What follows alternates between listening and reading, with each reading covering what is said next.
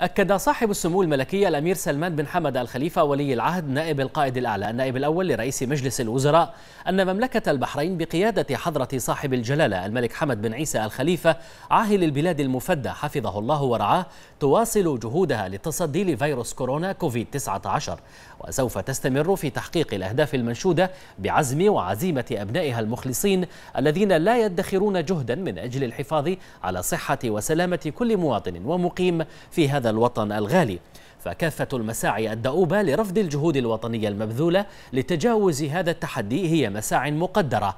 وضعت المصلحة الوطنية العليا غاية نبيلة بما يسهم في الحفاظ على صحة وسلامة الجميع في مملكة البحرين في ظل الظروف الاستثنائية التي يمر بها العالم جراء الفيروس. وقال سموه إن عيد الفطر المبارك يحل ونحن في مملكة البحرين بفضل الله عز وجل ننعم بالطمأنينة والسلامة بعد أن كان شهر رمضان الفضيل انعكاسا لرمضان الأسرة البحرينية كجزء من مجتمعنا الواعي شاكرين جهود الصفوف الأولى من أبناء الوطن وكافة أعضاء فريق البحرين في مواقعهم المختلفة.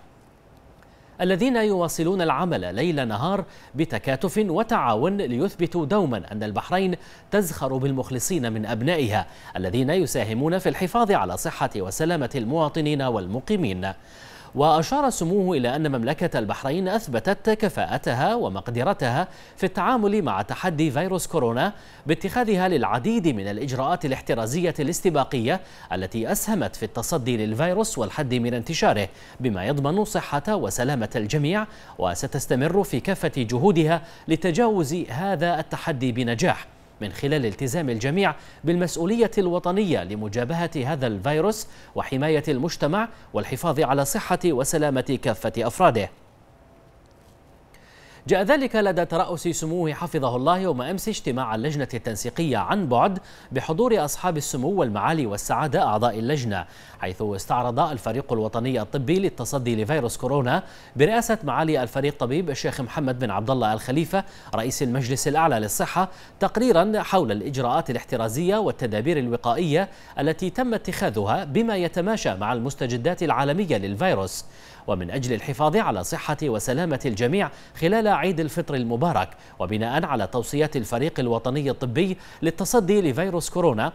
تم التأكيد على مواصلة الالتزام بالتدابير الاحترازية واختصار تجمعات العيد على العائلة الصغيرة التي تقيم في نفس المسكن والالتزام بالتباعد الاجتماعي وعدم التزاور حفاظا على سلامة الجميع والمعايدة عبر وسائل التواصل الاجتماعي بدلا عن التجمعات وزيادة تفعيل استخدام الدفع الإلكتروني عبر المنصات الإلكترونية للبنوك أو التطبيقات. كما تقرر ما يلي استمرار العمل في الأنشطة والمحال التجارية والصناعية مع الأخذ بعين الاعتبار التالي. ارتداء الأقنعة وكمامات الوجه من قبل العاملين ومرتادي هذه المحال التجارية. تقليل عدد الموجودين بالمنشأة ومنع الاكتظاظ في المحلات مع ترك المسافة الكافية. الالتزام بالتعقيم المستمر لهذه المحلات وفق إرشادات وزارة الصحة. تنظيم الانتظار خارج المحلات وفق تدابير التباعد الاجتماعي حسب إرشادات وزارة الصحة. السماح باستئناف العمل بالخدمات الطبية غير الأساسية وفق الاشتراطات الصحية وقواعد التباعد الاجتماعي. السماح للاعبين المحترفين بالتمرن في المساحات الخارجية والمسابح مع الالتزام بالاشتراطات الصحية.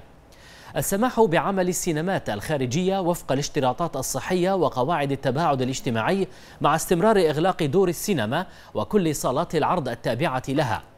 كما تقرر بدءا من يوم الأربعاء القادم الموافق السابع والعشرين من مايو 2020 السماح بإعادة فتح الصالونات ومحلات الحلاقة مع الحفاظ على الاشتراطات الصحية.